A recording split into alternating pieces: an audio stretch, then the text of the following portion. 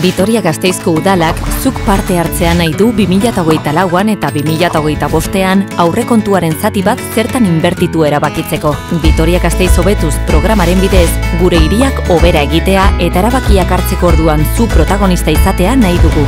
Nork aurkez ditzake proposamenak Gasteizek hobera egiteko ideiaren bat duen edozein pertsonak edo kolektibok. Noiz? 2008ko urriaren hogeita irutik azaroaren hogeita zeira. Nola? Online, udalaren webgunearen bidez edo herritarrei laguntzeko edozein bulegotara hurbilduta.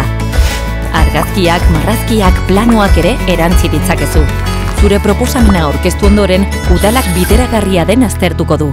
Interes orokorrekoa izan behar du, udalaren eskumenekoa eta ez da izango irureun mila eurotik gorakoa.